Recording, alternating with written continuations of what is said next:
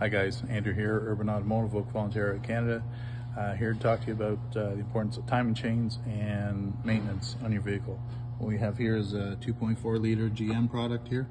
This vehicle came in running very poorly, loads of codes, um, cam timing, valve timing, all that stuff, and we pulled the valve cover off. What we had found is this timing chain uh, had actually skipped and jumped and in disassembly we found that it had a broken guide so that's not going to hold things um, steady uh, what we found is this chain is extremely stretched so we've taken everything apart this is all the new chain in here new guides and also we've done the balance shaft and water pump drive which is Ooh, I can get down there.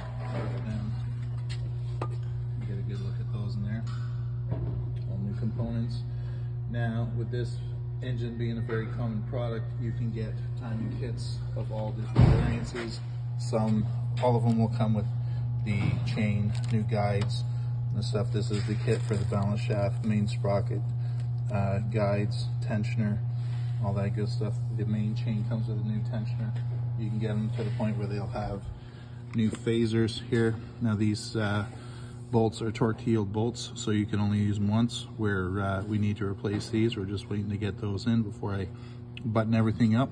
And uh, hopefully this engine is a interference engine, and hopefully we're not going to have any valve to piston uh, damage, which uh, would have mean we got to pull the cylinder head off this and basically do a valve job on it and see what kind of damage has been done. But hopefully, fingers crossed, one tooth. Hopefully it hasn't done too much, but uh, we'll see once we fire it up. Any time chain issues, feel free to give us a call here at Urban Automotive. Urban Automotive, safety first.